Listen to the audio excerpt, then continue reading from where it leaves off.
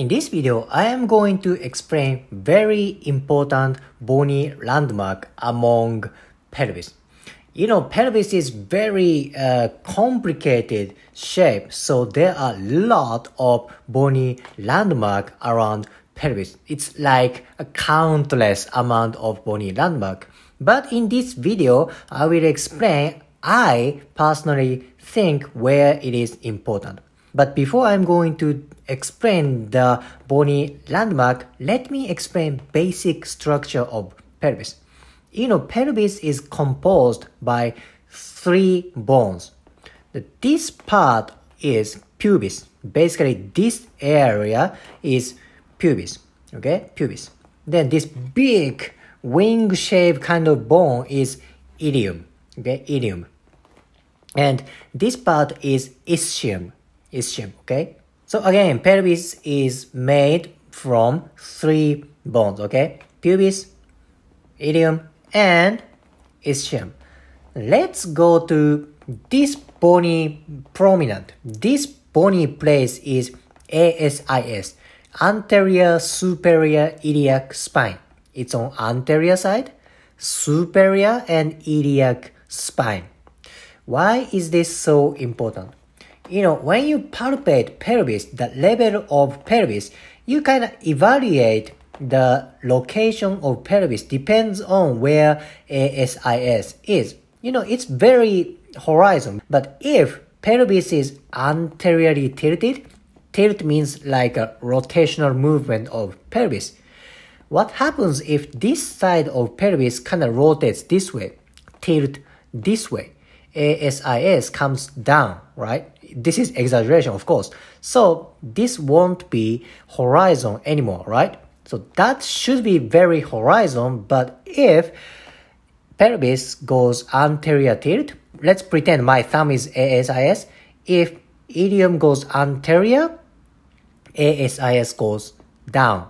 Or if pelvis goes to posterior tilt, posterior tilt is going this way, my thumb is going up. So it's gonna be uneven as well, right?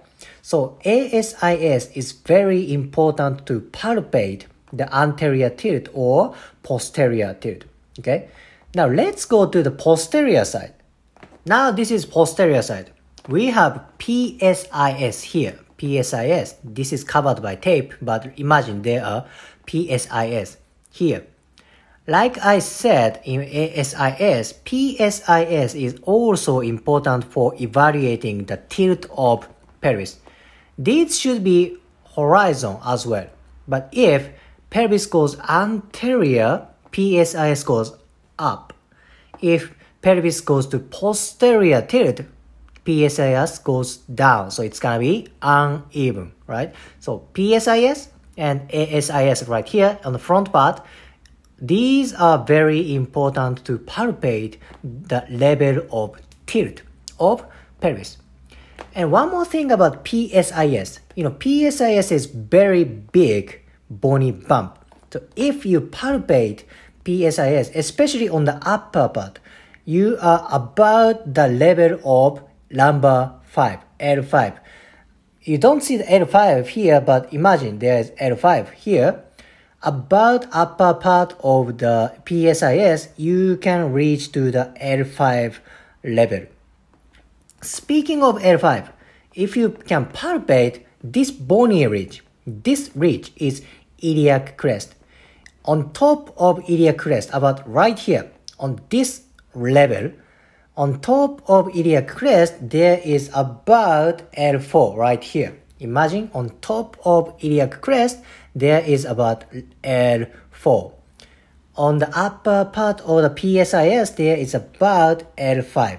PSIS and iliac crest, these are important for palpating lower lumbar spines.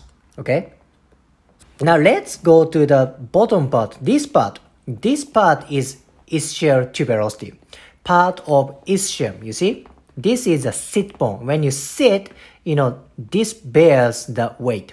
Okay, ischial tuberosity. What is important about ischial tuberosity? This place is important to palpate hamstrings because the hamstrings attach on ischial tuberosity. You know, right here, this big muscle here, gluteus maximus. Gluteus maximus is very thick muscle. So if you are kind of beginner of palpation, it's a little bit hard to palpate ischial tuberosity because gluteus maximus covers here. So it's very important to distinguish this bony structure from gluteus maximus. Why? Because for palpating hamstrings. So this is very important place and this part of hamstrings is very easy to get pulled muscle. Oftentimes, this part of hamstring is pulled by sports. Okay, so this is very important place. It's Ischial tuberosity. And, and, and, this part is also important. There is a bony ridge here. This bony part is median sacral crest. Median sacral crest is kind of very pointy part in middle of sacrum. So if you can palpate this, you know where sacrum is. You can palpate sacrum from PSIS. You know, you, if you follow PSIS, you are on sacrum, right? Or you can palpate median sacral crest, then you are on sacrum. Below the sacrum, there is a coccyx here. Coccyx is very tiny tailbone. You follow like you know from a median sacral crest goes down goes down goes down right here you can reach coccyx so you know if you can find the very uh, prominent bony place you can follow to the next place okay? Coccyx sacrum psis and iliac crest. So let's go back to anterior side again. Now let's focus on pubis, especially right here. This part is very, very important to palpate. Why? Because there is the rectus abdominis attaching here. And this part is very important, uh, kind of the fascial connection place. Palpating this place can affect many things. But for beginners, this is a little bit hard to palpate as well. So tip of palpating the superior part of pubis. You from the upper part, you know, kind of finding the muscle here. Imagine there's a rectus abdominis here. You from upper part coming down slowly, slowly, slowly, rectus abdominis. And you, if you reach this part, if you reach this part, now you are on pelvis. You don't want to go directly up from pubis. Why? Because there is a genital area, very sensitive area inferior to pubis, so you don't want to miss it. If you miss it, you're going to touch the sensitive area. So I kind of recommend you start palpating from superior part, rectus abdominis, rectus abdominis on, oh, there you are, there you are, there is a pubis, now you are on pubis. So uh, this is a kind of the tip to palpate pubis. So in this video, I demonstrated very important bony structure among pelvis.